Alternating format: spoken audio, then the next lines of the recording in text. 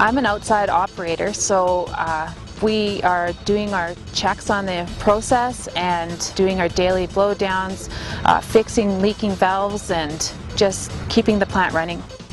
Figuring out our sulfur conversions, um, our chemical adding to our tanks. You use a lot of science in this job. I chose to work in this field because it's hands-on. It's in the field. I can get dirty and I'm not stuck in an office every day. Once the gas comes out of the, out of the ground, we produce it through the wellhead, through the high line.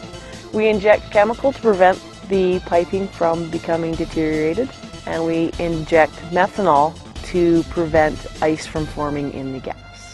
I took a year of upgrading for math and physics and then I took the power engineering program at the college for eight months and I was employed.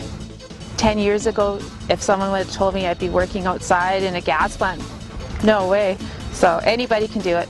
I consider myself a scientist because every day I get to I get to touch and feel and see the effects of geology, reservoir engineering, petroleum engineering, mechanical engineering, chemical engineering, and every day is a math problem, every day is a mixture of chemicals and science projects like that.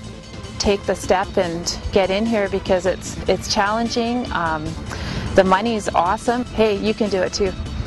You can get dirty. It is going to get cold, uh, but it's a lot of fun. And there's a lot of good people that work in this industry.